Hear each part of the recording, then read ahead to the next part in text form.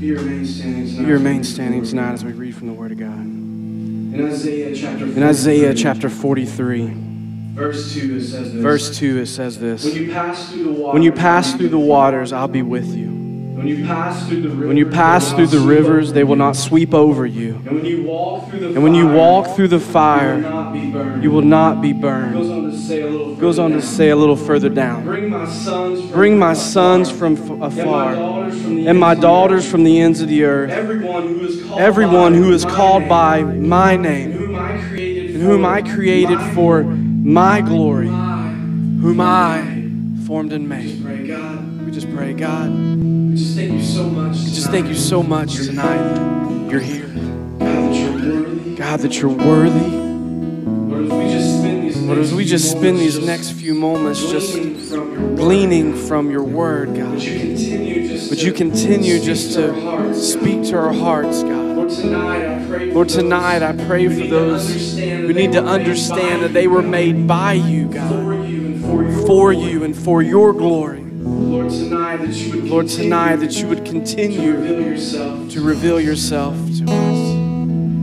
Lord, we thank you tonight. Lord, we thank you tonight. In your name we pray. In your name we pray. Man, just remain standing. Man, just. Remain standing where you are. I just as we believe, uh, worship standing, just as we worship standing, that the Word of God worship is as well. Amen. worship as well. We just Amen. want to share with you. We just want to share with you. My name is Bryant. My name is I'm Bryant. Aaron's tour pastor. I'm Aaron's tour pastor. We've been traveling together for over a year now.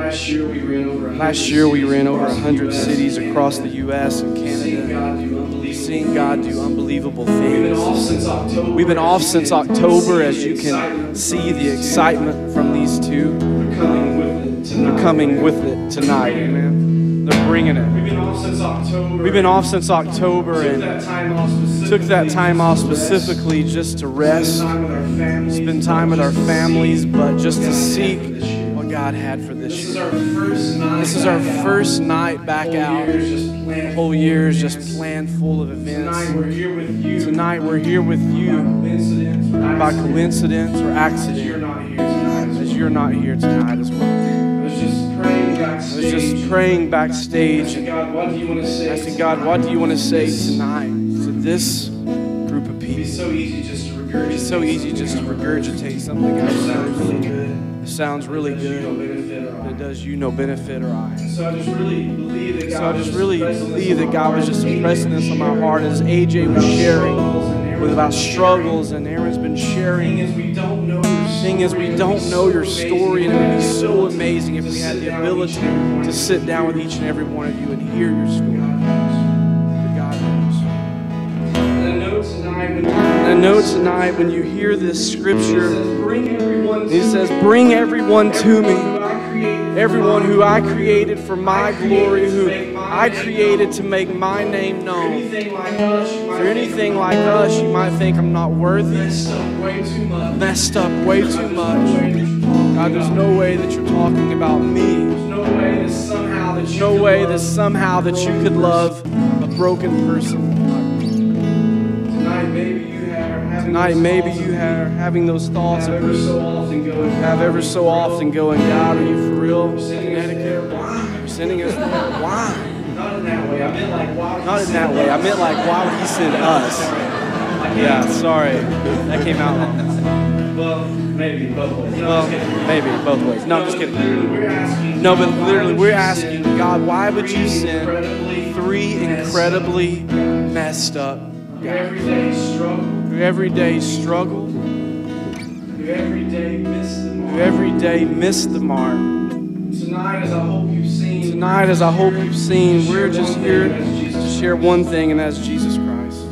The hope that is only found. The hope that is only found in Him. But maybe you're having those thoughts. Maybe you're having those thoughts, and I was thinking about this, and and the story came to mind that I believe for many of you is ever so familiar. It's found in Matthew chapter 15, verse 11. It's this parable about the lost son. son, you've probably heard. Prodigal son, you've probably heard it As I was just backstage reading. As I was just backstage reading, and God was just reminding me things I just want to share some things I just want to share with you briefly. There's this story of this son. goes to his father and asks for his Goes to his inheritance father and asks for his because He wants to go do his own thing. To. Make a long story short, he goes out and wasted away on things that he thought would satisfy. He ends up the lowest of the lows, the lowest of the hanging out and eating with hanging out and eating with pigs, which in that day was Just didn't smell like do bacon, that. You didn't smell like bacon. You didn't eat bacon. Didn't associate with bacon. I love bacon. Thank goodness came. Thank goodness that the Lord came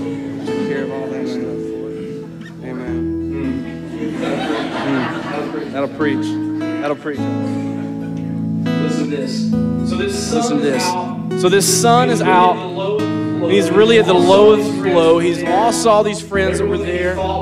Everyone that he thought was his friend. And I love what it says in verse 17. It says, when he came to his senses. was out there going like, what He was out there going like, what am I doing? This is crazy. I used to live in a palace that had all this stuff. It says when he came to his senses, he said, says, when he came to his senses, he said, How many of my father's hired men have food to spare? death. And here I am starving to I will death. set out and go back to my I will set out and go back to my father and say to him, Father, I've sinned against heaven and against you. I'm no longer worthy to be called your son, but make me like one of your hired men. And so he got up and went to his father. Because he came to his senses and realized, like, wow, like, there's nothing else to go. So I'm just going to go back to my dad. Just say, Dad, I- I'm just begging you. Just let me be your servant. I don't even want to be your son anymore. I don't deserve that. I love this next verse. It says, But while he was still a long way off, that his father saw him and was filled with compassion for him. And he ran to his son and he threw his arms around him and kissed him.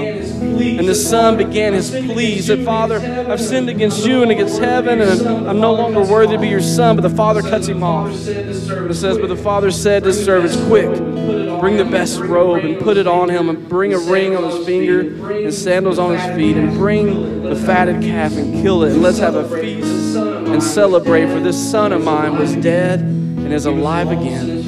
He was lost and is found. So they begin to celebrate. He said, You hear that story, you're like, Yeah, that's great. I've heard that before. We had the felt board and move the guys around. Like, I've heard that, Bryant. That's great. Here's what I want you to realize tonight.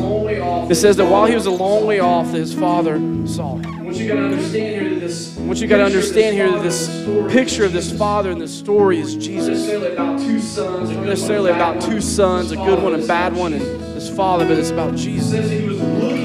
It says that he was looking for him. father was staring out the His father was staring out the window, and Jesus is looking for you. says when he saw him, And it says, when he saw him, he was filled with compassion. And here's the crazy thing he began to run Why is that such a after his son. Now, why is that such a big deal? day in that culture, When that day in that culture, a very high ranking man such as his father did not run. It was unacceptable.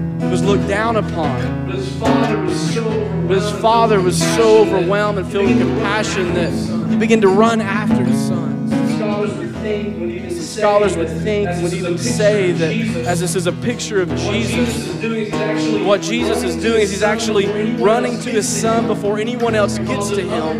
Because if other Jews would have gotten to his son before he did, he would have been killed because of what he had done to his family. A picture of Jesus So here's a picture of Jesus running son from the to protect his son from the law. Running to keep his son He's running to keep his son from being killed and getting what he deserves.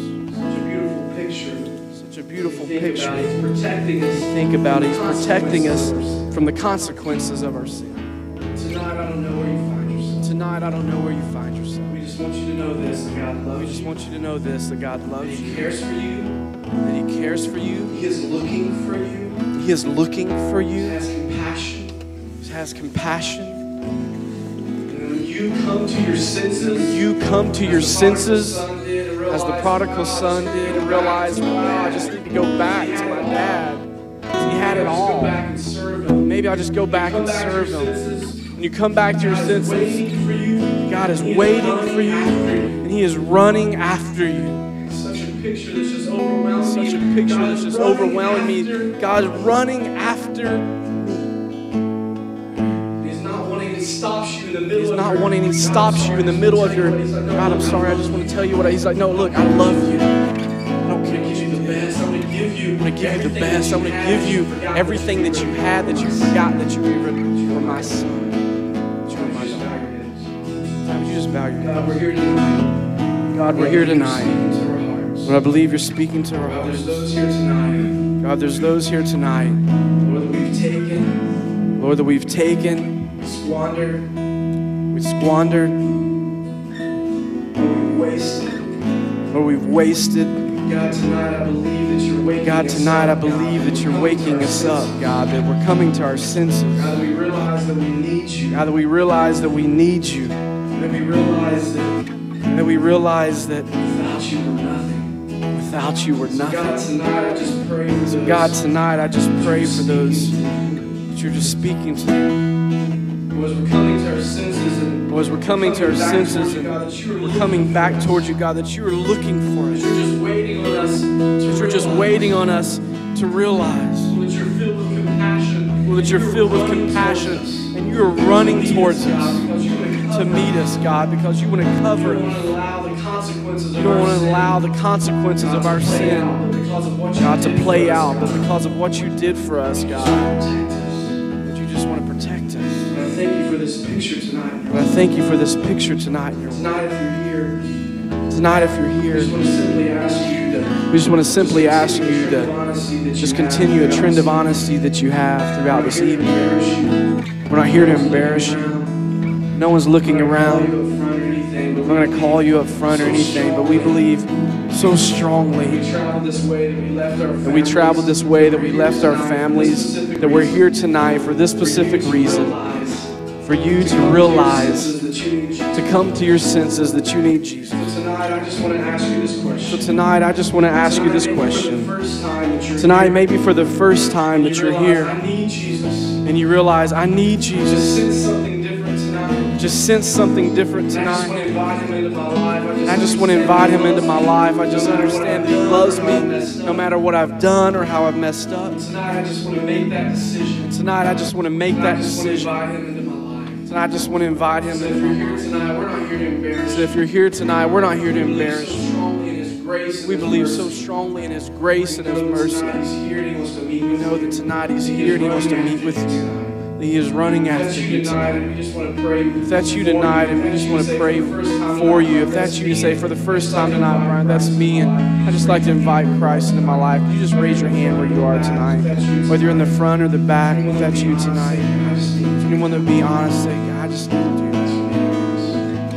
Thanks for being If you're here. tonight, If you're here tonight, Son is a picture of you. maybe this prodigal son is a picture of you. Once you were walking with Christ, That once you were walking with Christ, doing your own thing. you've been out doing your own Tonight thing. you've come to your senses. You Tonight you've come to your senses and you understand that that you you're nothing without Him. that you are Maybe nothing tonight without you just need Him. to give your life Maybe tonight you just need to give your life back to Him, just to make a statement. Say, God, I'm sorry.